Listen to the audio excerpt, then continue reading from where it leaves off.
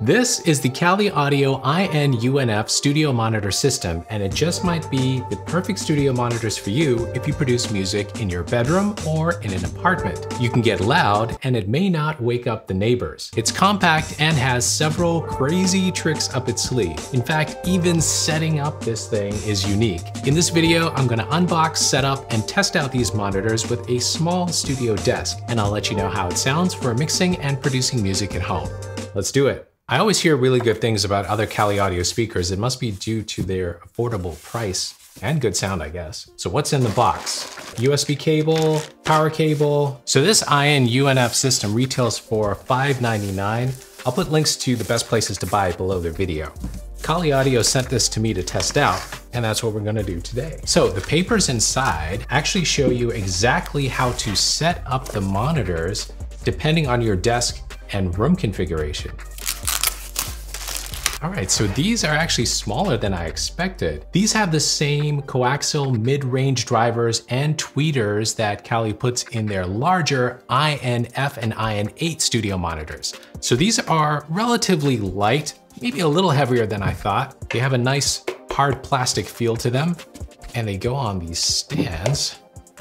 There you go. So this is pretty heavy. This is the base unit. Now keep watching because I ran an interesting test comparing these with traditional monitors later in the video. There are several super unique things with the setup alone. These satellites are supposed to be placed at arm's length from your ears. That's super close. So that's why they call them ultra near field. That's the UNF in the name. The satellites are sitting on these pads so you can easily adjust the angle to point towards your ear. Now with any studio monitor on your desk, you will get some sound reflections from the desk itself. With the UNF system, Kali says they've accounted for those reflections in the calibration of these speakers. We'll find out. So what about this monster bass unit? This actually houses the woofer and the amplifier for the whole system. So here's another magic trick. Kali says that the vibrations are not going to transfer to the desk or anything you put on top. They actually suggest putting a computer monitor on top of this, or you can put it behind your monitor or laptop. This connects directly to your computer by USB-C. So unlike most other studio monitors, you're not connecting this to the outputs of your audio interface, but you can if you want with the TRS connections. But I'm gonna try this with USB-C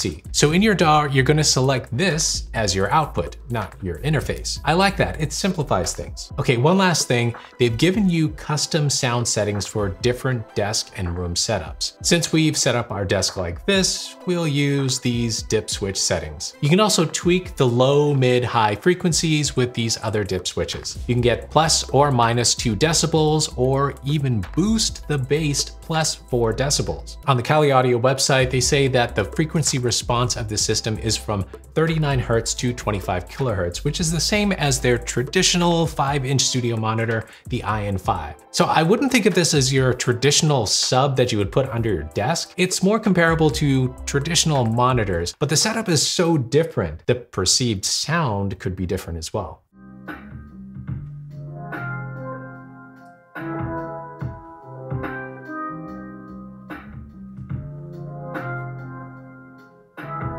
Okay, so how does it sound? I was super excited to try it. Overall, these sound great. Everything sounds upfront and close, ultra near field, but very detailed, nice for mixing. Clarity is good, especially with the bass, which surprised me the most. And yeah, minimal vibrations to the desk. You're gonna feel a little, but not more than typical studio monitors, maybe even a bit less. The bass is crisp and clear, and after listening to some bass heavy music, I didn't find myself missing the sub bass. There was enough bass to keep me happy. Mid sound good, the bass unit is handling some of the mids nicely, which is keeping vocals focused in the middle when needed. Having the large unit in the middle with its own speakers on both sides is actually helping the middle focus. At the end of the day, these sound similar to desktop studio monitors. In fact, really nice desktop studio monitors. I'm gonna enjoy mixing with these every now and then, particularly for that up close sound. It's just so nice for mixing. All right, so what do I think of this whole setup?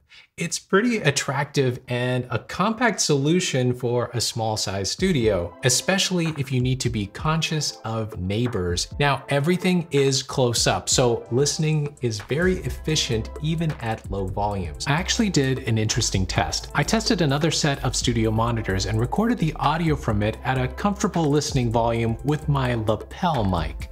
Then I set the Kali IN-UNF volume to approximately the same volume and recorded it with my lapel mic as well. The volume on the IN-UNF was actually lower. I have a feeling the perceived volume of these monitors is louder than they actually are since they are ultra near field.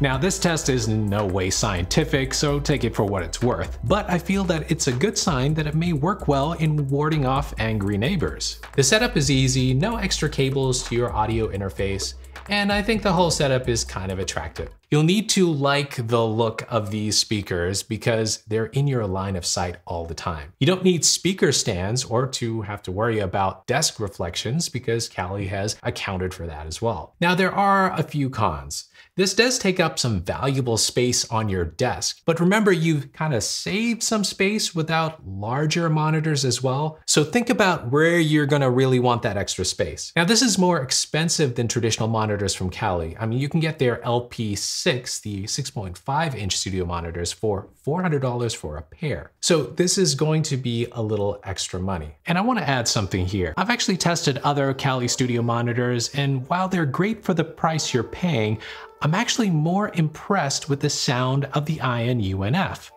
especially when it comes to the very pleasant bass. These are not multimedia consumer speakers, even though they kind of look like them. These sound like studio monitors, and once you get used to that upfront sound for mixing, I think you may really like this for a small studio setup. If this setup looks like something you'd like, I'll add links to the video description to the best places to buy the IN-UNF System by Kali. Keep making the music you love and check out this video where I round up the best 5-inch studio monitors you can buy right now. See you there.